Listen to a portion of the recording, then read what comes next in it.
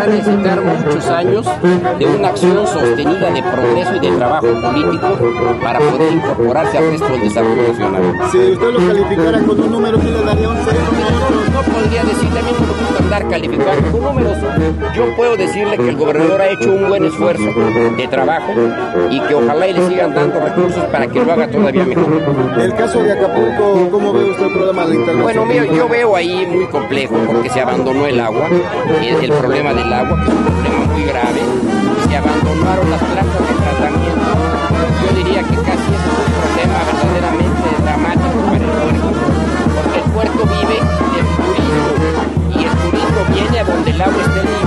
Donde se pueda bañar sin enfermarse. Entonces uno no puede en ninguna forma ni siquiera pensar en las plantas de tratamiento no estén funcionando. Eso es un verdadero crimen.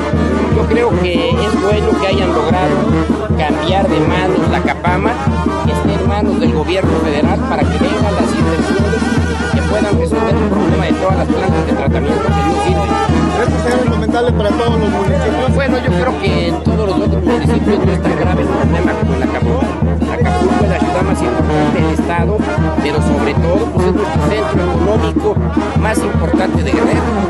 El PRI. El PRI va bien, el PRI va bien. Yo siento que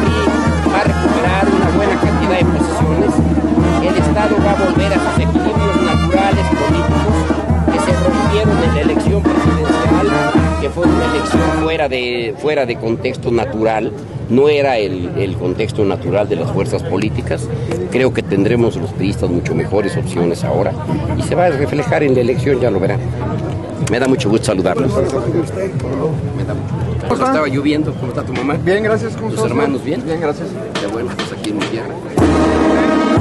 Ha llegado.